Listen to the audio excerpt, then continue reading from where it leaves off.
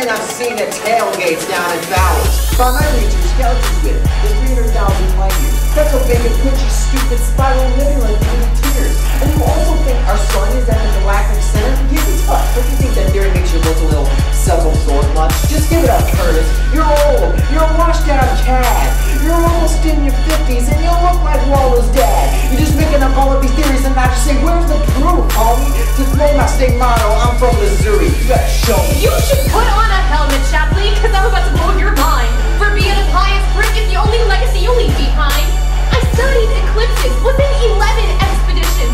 You dropped out of school with only a fifth grade education. And don't talk to me about self-absorbed. Don't try to think you're clever. It's even more conceited to think that you're the only galaxy ever.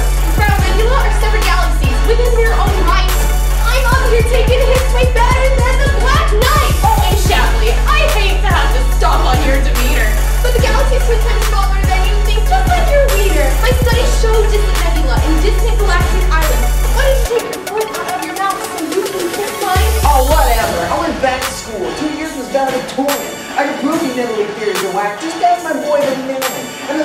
near the center. It's 60,000 light years from it. The only thing that's gonna be center is my hop and spit. Oh, real classy, Shapley. Why do you gotta keep on hating? As William Shakespeare put it, you speak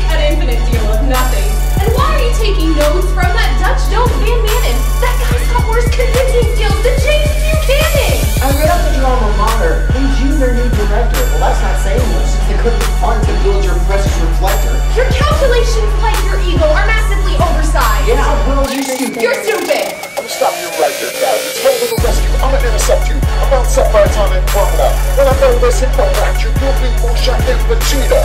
You, Mr. Gold Medalist, your numbers are all screwed up. And I hate to tell you, but Van Maanen's results are all fluid. And you, Hurricane Reject, we're not the only galaxy.